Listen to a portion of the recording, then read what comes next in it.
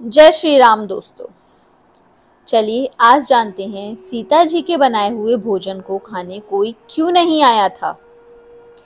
लंकापति रावण के वध के बाद जब अयोध्यापति प्रभु श्री राम की कीर्ति दूर दूर तक फैल रही थी और वह मर्यादा पुरुषोत्तम कहलाने लगे थे, तब एक दिन महादेव शिव की इच्छा भी मर्यादा पुरुषोत्तम श्री राम से मिलने की हुई। पार्वती जी को संग लेकर महादेव कैलाश पर्वत से उतरकर अयोध्या नगरी के रास्ते पर चल पड़े भगवान शिव और माँ पार्वती को अयोध्या आया देखकर श्री सीताराम जी बहुत खुश हुए माता जानकी ने उनका उचित आदर सत्कार किया और स्वयं भोजन बनाने के लिए रसोई में चली गईं। इस बीच भगवान शिव ने श्री राम जी से पूछा, आपके सेवक हनुमान जी दिखाई नहीं पड़ रहे हैं? श्री राम बोले, वे बगीचे में हैं। शिव जी ने श्री राम जी से बगीचे में जाने की अनुमति मांगी और पार्वती जी का हाथ थामकर बगीचे में आ गए। बगीचे की खूबसूरती देखकर उनका मन मोहित हो गया। आम के घने वृक्ष के नीचे हनुमान जी दीन दुनिया से बेखबर गहरी नींद में सोए थे और एक लय में खराटों से राम नाम ध्वनि की आवाज़ उठ रही थी। चकित होकर शिवजी और माता पार्वती एक दूसरे की ओर देखने लगे। माता पार्वती मुस्कुरा उठी और वृक्ष की डालियों की ओर इशारा किया। राम नाम सुनकर पेड़ की डालियाँ भी झूमने लगी थी और इनके बीच से भी राम नाम उच्चारित हो रहा था। शिवजी इस राम नाम की धुन में मस्त मग्न होकर खुद भी राम राम कहकर नाचने लगे। माता पार्वती जी ने भी अपने पति का अनुसरण किया और अपने कोमल पाँव से थिरकना शुरू कर दिया। शिवजी और पार्वती जी के नृत्य से ऐसी झनकार उठी कि स्वर्गलोक के देवतागण भी आकर्षित होकर बगीचे में आ गए और राम नाम की ध्वन में सभी मस्त हो गए। माता जानकी भोजन तैयार करके प्रतिशारत थी, परंतु संध्या घिरने तक भी अतिथि नहीं पधारे। तब अपने देवर लक्ष्मण जी को बगीचे में भेजा।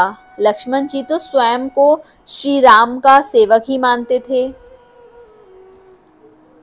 अतः बगीचे में जाकर जब उन्होंने धरती पर स्वर्ग का नज़ारा देखा तो खुद भी राम नाम की धुन में झूमने लगे।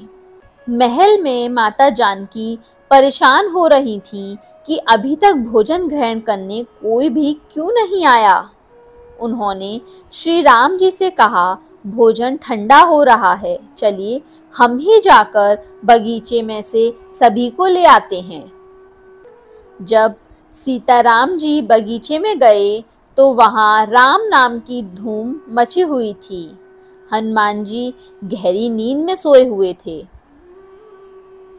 और उनके खराटों से अभी तक राम नाम निकल रहा था। श्री सियाराम भाव विहल हो उठे। राम जी ने हनुमान जी को नींद से जगाया और प्रेम से उनकी तरफ़ निहारने लगे। हनुमान जी प्रभु को आया देख शीघ्रता से उठ खड़े हुए, नृत्य का समा भंग हो गया। शिवजी खुले कंठ से हनुमान जी की राम भक्ति की सराहना करने लगे। हनुमान जी संकुचाए, लेकिन मन ही मन खुश भी हो रहे थे। श्री सियाराम ने भोजन करने का आग्रह भगवान शिव जी से किया। सभी लोग महल में भोजन करने के लिए चल पड़े। माता जानकी भोजन परोसने लगी। हनुमान जी को भी श्री राम जी ने पंक्ति में बैठने का आदेश दिया। हनुमान जी, बैठ तो गए। परंतु आदत ऐसी थी कि राम जी के भोजन करने के उपरांत ही सभी लोग भोजन करते थे। आज श्री राम के आदेश से पहले भोजन करना पड़ रहा था।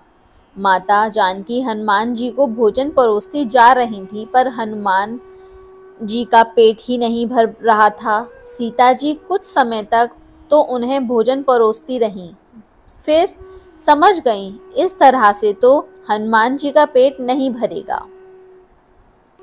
उन्होंने तुलसी के एक पत्ते पर राम नाम लिखा और भोजन के साथ हनुमान जी को परोसा। तुलसी पत्र खाते ही हनुमान जी को संतुष्टि मिल गई और वह भोजन खाकर उठ खड़े हुए। भगवान शिव से प्रसन्न होकर हनुमान जी को आशीर्वाद दिया कि आप की राम भक्ति युगों युगों तक याद की जाएगी और आप संकट मोचन कहलाएँगे।